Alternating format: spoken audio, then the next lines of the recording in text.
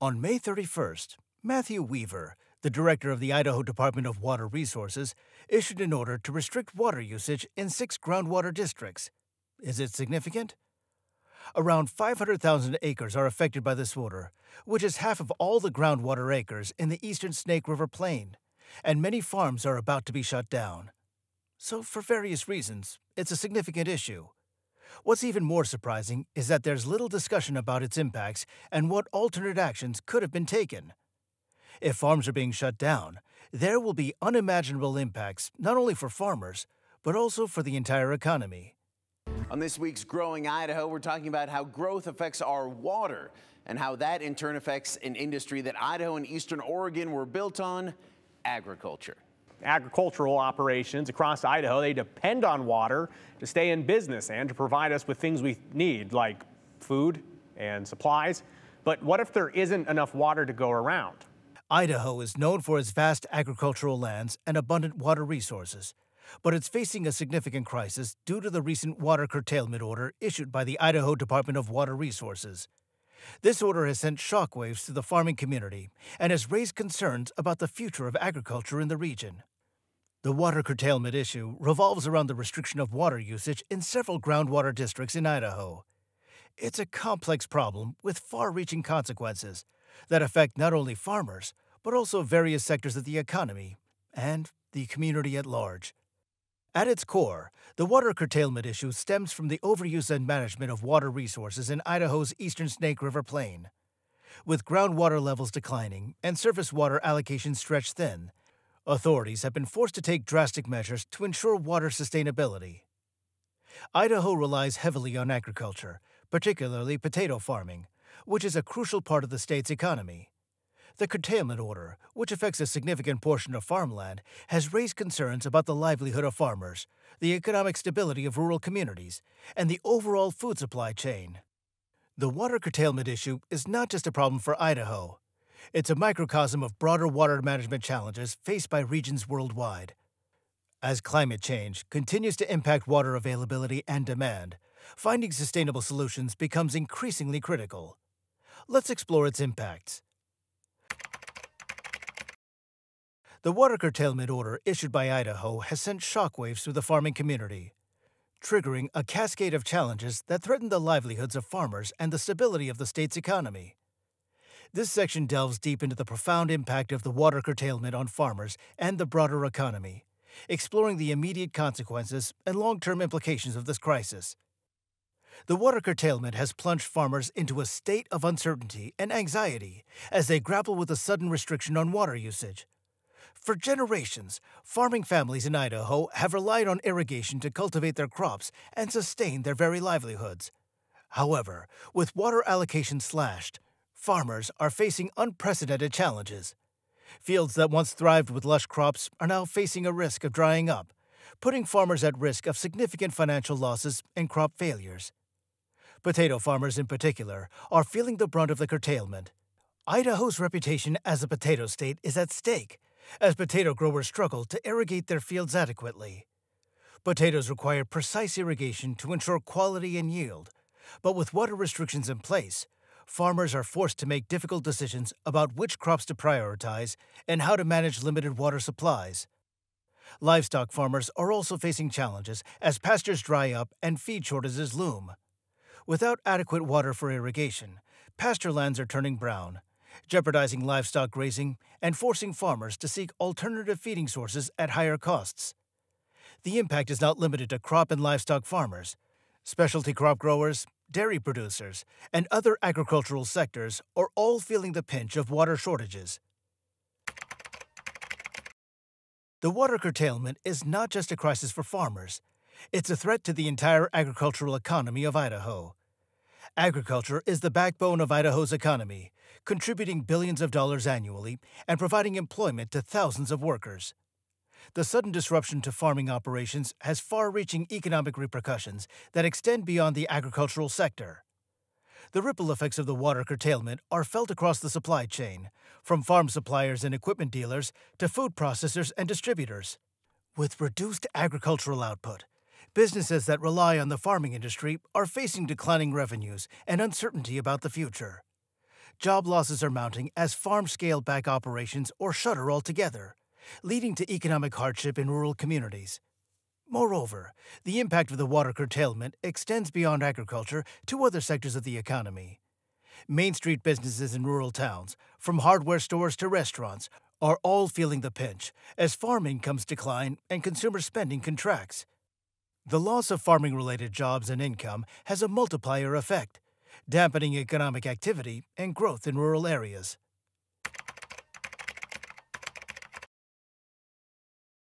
In addition to the economic consequences, the water curtailment is taking a toll on the social fabric of rural communities.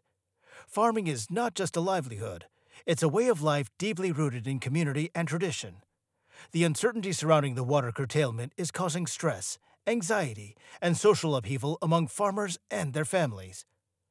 Farmers who have invested their lives in their land now face the prospect of losing everything they've worked for. The threat of bankruptcy looms large as crop failures and financial losses mount. Families are grappling with the emotional toll of uncertainty, fearing the loss of their farms, homes, and the way of life. Moreover, rural communities dependent on agriculture are facing existential challenges. Schools, churches, and local businesses that rely on a thriving farming community are at risk as farms close and families move away in search for opportunities elsewhere. The loss of farms not only impacts the economy, but also erodes the social fabric of rural life. The water curtailment crisis demands urgent action and innovative solutions to support farmers and safeguard the economy. Immediate measures are needed to provide relief to farmers facing financial hardship and ensure access to water for critical agricultural activities. Government assistance programs, financial support, and technical assistance can help farmers weather the crisis and transition to more sustainable practices. Long term solutions are also essential to address the root causes of the water curtailment issue and build resilience in the agricultural sector. Investments in water infrastructure, conservation practices, and drought resistant crops can help mitigate the impacts of water shortages and ensure the long term viability of farming in Idaho. Furthermore, efforts to diversify the rural economy and create new opportunities for employment and investment are critical to reduce dependence on agriculture and strengthen rural communities. Initiatives to support small businesses, promote tourism, and attract new industries can help diversify rural economies and create jobs outside of agriculture. Water rights and allocation form the cornerstone of water management in Idaho, profoundly influencing the current water curtailment issue. Delving deep into the intricacies of Idaho's water rights system unveils a complex web of regulations, priorities, and historical precedents that shape how water resources are managed and distributed among various users. The foundation of Idaho's water rights system lies in the state's history of water development and settlement. Dating back to the mid 19th century, pioneers and settlers began appropriating water for agricultural, municipal, and industrial purposes, laying the groundwork for the modern water rights system. Idaho's water rights are governed by a combination of statutory law, case law, and administrative regulations. The state's water laws are rooted in the doctrine of prior appropriation, which prioritizes the first in time, first in right principle. This principle grants senior water rights holders priority access to water during times of scarcity, ensuring that historical water users are protected from interference by newer users. Surface water rights in Idaho are allocated through a permitting process overseen by the Idaho Department of Water Resources, or IDWR, and adjudicated by the Idaho Water Court. Water users must obtain permits from IDWR to divert and use surface water for beneficial purposes, such as irrigation, domestic use, industrial processes, and recreational activities. Surface water rights are subject to a priority system based on the date of appropriation with senior rights holders holding priority over junior rights holders. During times of shortage, senior rights holders are entitled to their full allocation before junior rights holders receive any water. This seniority based allocation system is designed to provide security and certainty to historical water users, particularly in times of drought or low flow conditions. Groundwater rights in Idaho are managed through a combination of state regulations and local groundwater districts. Unlike surface water, which is subject to a permitting process, groundwater rights are often tied to land ownership and are administered by local groundwater districts or subdistricts. Groundwater pumping is regulated to prevent overuse and depletion of aquifers, especially in regions where groundwater is the primary source of irrigation. groundwater users may be required to obtain permits or licenses from local groundwater districts and adhere to pumping restrictions to ensure sustainable use of groundwater resources. The interaction between surface water and groundwater rights is a key consideration in water management in Idaho, as groundwater pumping can impact surface water flows and vice versa. Balancing the needs of surface water users and groundwater users is essential to prevent conflicts and ensure sustainable water management. Government regulations play a pivotal role in administering water rights and allocations in Idaho. State agencies, such as IDWR, are responsible for overseeing water rights administration, permitting, and enforcement to ensure compliance with state water laws and regulations. Regulations dictate how water is allocated, used, and managed, providing guidance on issues such as water rights transfers, water conservation, and in stream flow protections. Regulatory agencies work closely with water users, stakeholders, and local governments to develop and implement policies that promote sustainable water management and protect water resources for future generations. The water rights and allocation system in Idaho have significant implications for the current water curtailment crisis. The prioritization of senior water rights holders means that junior users, including some groundwater users, may face restrictions or curtailments during times of scarcity. The current crisis highlights the challenges of balancing competing interests and managing water resources in a state with growing water demands and finite supplies.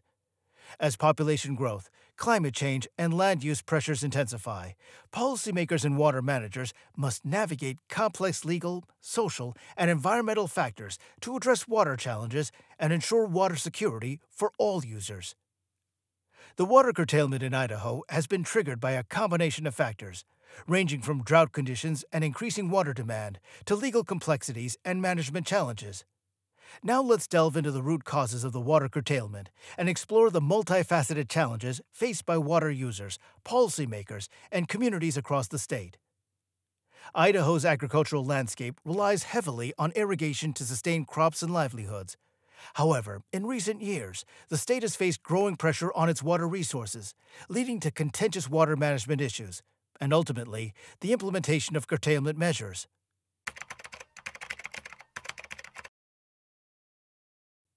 One of the primary drivers of the water curtailment in Idaho is drought and climate variability. The region has experienced periods of below average precipitation and warmer temperatures, leading to reduced snowpack, diminished river flows, and depleted reservoirs. Drought conditions have become more frequent and severe, exacerbating water shortages and straining water supplies for agriculture, municipalities, and ecosystems. The variability of climate patterns makes water management increasingly challenging, as water managers must adapt to unpredictable conditions and plan for long term resilience.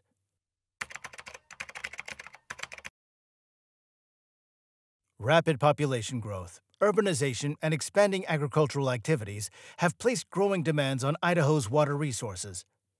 As cities expand and agricultural operations intensify, the competition for limited water supplies has intensified, leading to conflicts over water allocation and usage.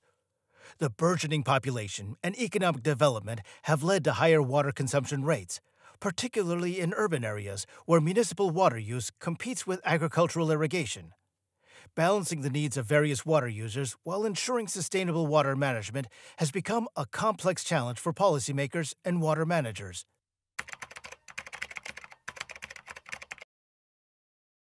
Idaho's water rights system, while designed to provide clarity and security, also contributes to the challenges of water management. The prior appropriation doctrine, which grants priority to senior water rights holders, can result in junior users facing curtailments during times of shortage. Navigating the legal and regulatory framework governing water rights, permits, and allocations can be daunting for water users, particularly during times of crisis. Disputes over water rights, water transfers, and compliance with regulations further complicates the management of water resources in the state.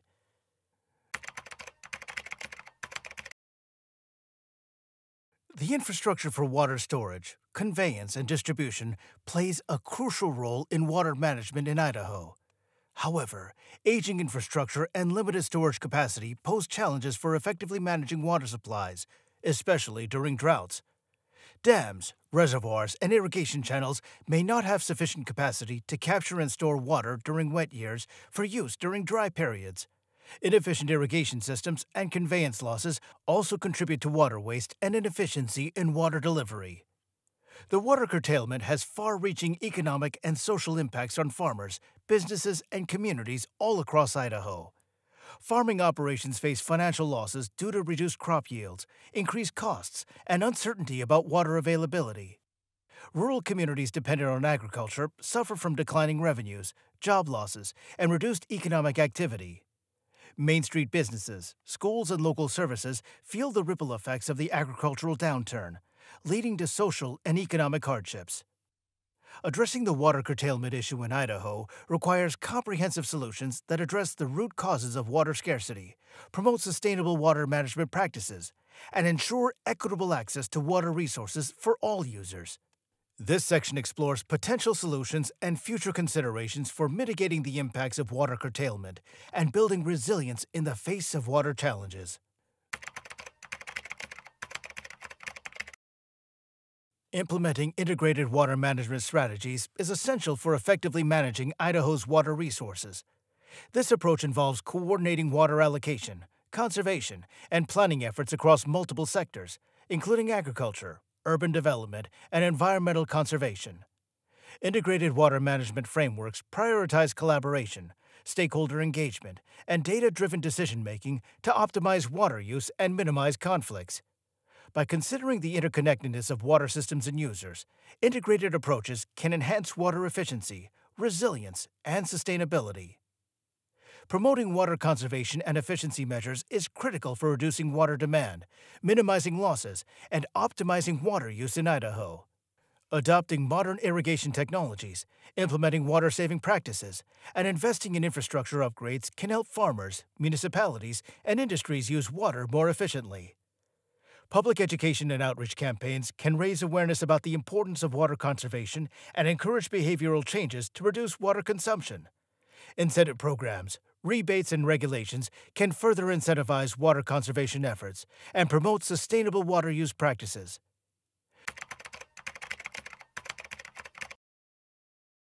Diversifying water supplies can enhance Idaho's resilience to water scarcity by reducing reliance on single sources of water and increasing flexibility in water management.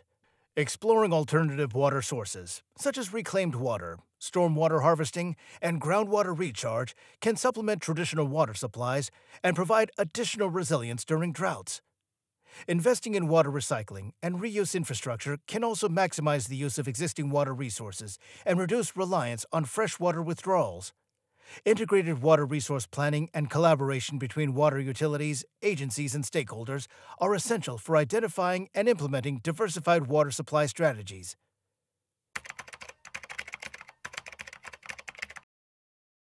Investing in infrastructure upgrades and modernization projects is crucial for optimizing water storage, conveyance, and distribution systems in Idaho.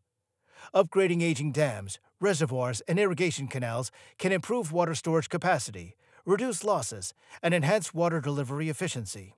Investments in water treatment facilities, pipelines, and pumping stations can enhance water quality, reliability, and resilience in the face of changing water conditions.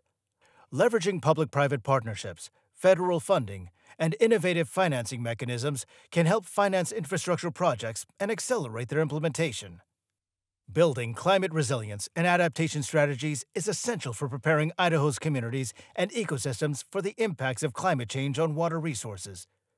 Developing climate informed water management plans, assessing vulnerability to climate risks, and integrating climate considerations into decision making processes can enhance resilience to droughts, floods, and extreme weather events promoting ecosystem based adaptation approaches, such as restoring wetlands, improving watershed health, and protecting natural habitats, can also enhance water storage, filtration, and recharge capacities. Enhancing monitoring, forecasting, and early warning systems can improve preparedness and response to climate related water challenges.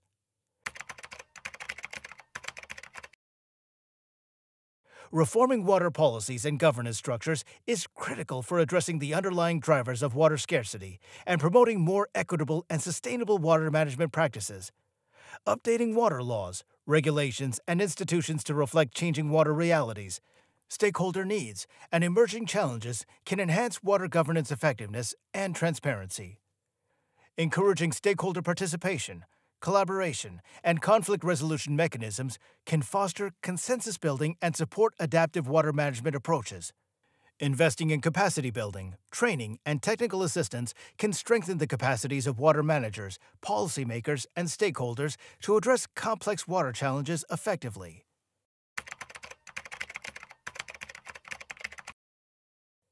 Engaging and empowering communities is essential for building grassroots support, fostering social cohesion, and mobilizing collective action to address water challenges.